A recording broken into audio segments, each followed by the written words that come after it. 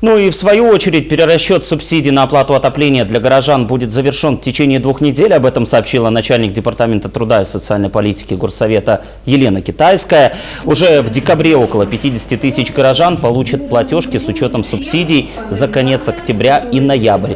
Рассчитывается субсидия индивидуально, учитывая доходы каждой семьи, и в среднем составляет 107 гривен. В этом году количество получателей помощи на 10% ниже, чем в прошлом. Для оформления необходимы два документа, заявление и декларация о доходах за два квартала. В этом году роста заявок не зафиксировано. Это связано с тем, что субсидии продлеваются автоматически.